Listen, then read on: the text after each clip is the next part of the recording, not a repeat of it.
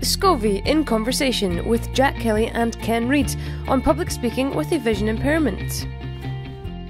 Do you find that because you have a visual impairment, people are less likely to book you to do public speaking, to deliver speeches, because they might assume that you don't want to or that you, you're not comfortable doing it? I feel definitely. It, it, I'm not to be rude, Ken. No offence, but I'm younger than Ken, so I'm, I'm at an earlier stage in my my my, my progression of RP.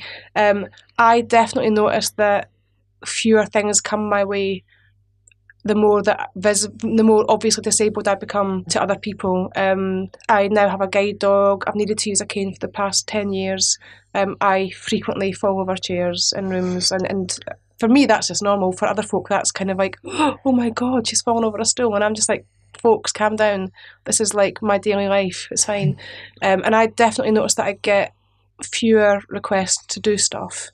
Um, but I also notice on the flip side, I guess that I get better feedback when I do stuff, and then folks see that my visual impairment isn't actually really a massive impediment to me speaking mm. to a room or doing a training session. I might need to sometimes bring a personal assistant if I'm doing training, um, somebody flip the flip chart or whatever.